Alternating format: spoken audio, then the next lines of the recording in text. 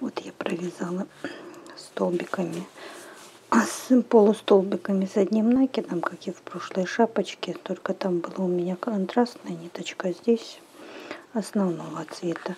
На этой шапочке я сделала вот такого вот самолетика. Если кому-то интересно, пожалуйста, пишите, я сделаю видео, покажу вам, как ее делать. На этой я вам уже показывала, я сделала вот такого паучка.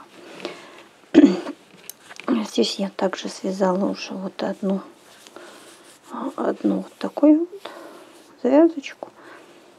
Сейчас с вами сделаем вторую. У меня здесь получилось 12 петелек. Вязать мы будем обычными простыми столбиками. Без накида, то есть вот на, на длину, какую вы посчитаете нужным. Я сделала вот такую длины. Хотите, я померяю, скажу, сколько это у меня получилось вся. У меня получилось 14 с половиной сантиметров. Ну, для меня этого достаточно. Если вы хотите длиннее, то можно связать длиннее. Ну, давайте приступим. Делаем воздушную петлю.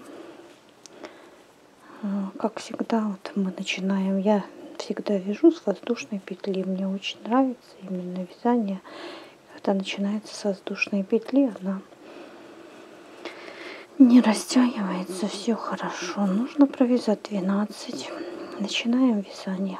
Вот смотрим, откуда мы начали здесь. То есть мы начинаем его вот отсюда вводим крючок в вязание, берем воздушную нашу петельку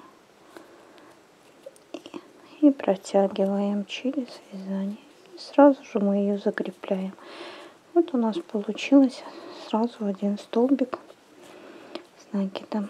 Ну, еще нужно провязать 11. Один, два, вот этот вот ниточку эту ну, увязываем вязание, чтобы она у нас была три. Сюда вот тоже вкладываемся. Четыре.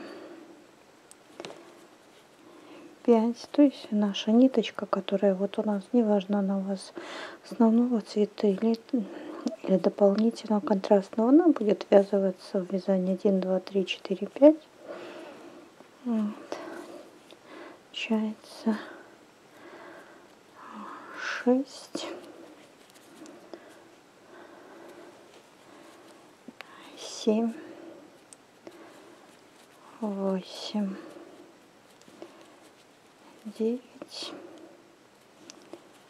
десять, одиннадцать и подкалываем все вот сюда вот закрепляюсь 12. Делаем воздушную петлю подъема, разворачиваем наше вязание.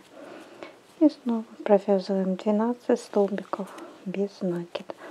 Так мы делаем, ничего сложного в этом нету. Провязываем каждый столбик. В начале и в конце делаем воздушную петлю. И у нас в конце, вот если вы захотите, я вот делаю вот такое вот окончание. То есть я просто убавляла по одной петельке. А можно сделать вот так вот прямую. Я думаю, что вы сами довяжете, сложного ничего в этом нет.